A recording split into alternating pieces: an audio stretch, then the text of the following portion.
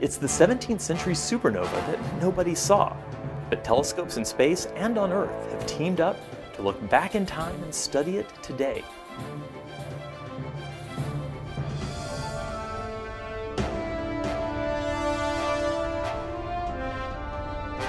The Hidden Universe Showcase explores exciting new results in infrared astronomy from NASA's Spitzer Space Telescope with your host, Dr. Robert Hurt.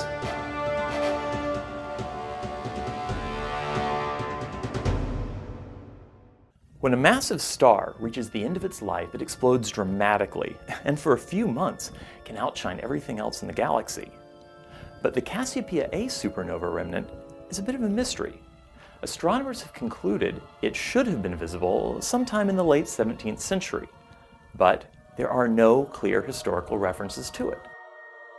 Earlier supernova had been seen by many, often shining brighter than the planets. Of course, with no witnesses and no records, it's awfully difficult to determine exactly what kind of supernova this one was.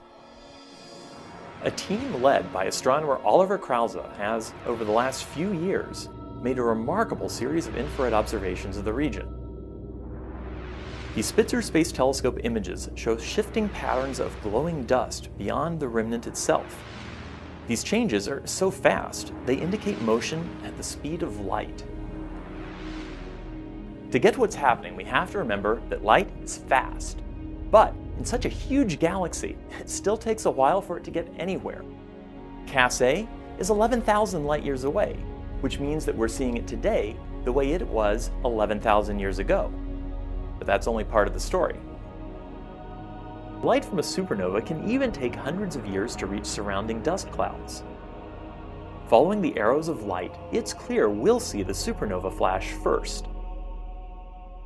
The light echoing off the dust clouds will arrive later at various times, delayed by hundreds of years from the original flash. So we're not seeing the dust move.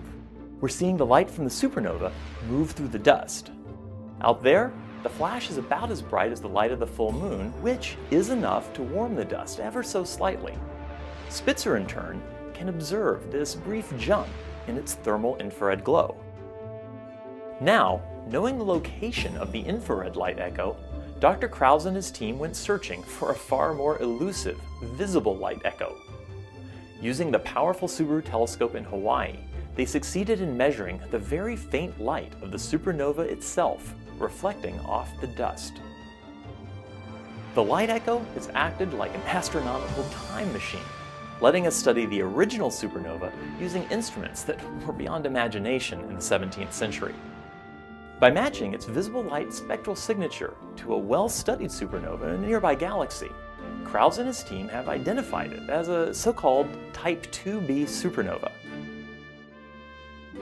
A Type 2b is fainter than the earlier Type 1b supernovas noted by Tycho Brahe in 1572 and Johannes Kepler in 1604. Interestingly, the Royal Astronomer Flamsteed noted a star near Cas in August of 1680 with a brightness consistent with a Type 2b supernova at that distance. So, maybe it was seen after all. But this light echo also reveals more than just the supernova. The expanding flash also lets astronomers study the three-dimensional structure of the dust by illuminating it one slice at a time. If we combine the images, assigning colors to the observation dates, the result is a prismatic display of the 3D dust structure. The nearest dust is blue, and the most distant is red, while everything that stays constant is gray. We can see that the interstellar dust lies in sheets and filaments, not, for instance, uh, big puffy clouds. This remarkable light echo around Cas A has led to a better understanding of both supernovas and interstellar dust, which itself is made of elements that were forged in previous generations of supernovas. This also marks the start of our third year of Hidden Universe podcasts. On behalf of the staff here at the Spitzer Science Center, I'd like to thank all our viewers for helping make this and our other podcasts so successful. And do keep watching, because there's a lot more of this hidden universe just waiting to be discovered. The Hidden Universe is produced by the Spitzer Science Center at the California Institute of Technology in Pasadena. The Spitzer mission is managed by NASA's Jet Propulsion Laboratory.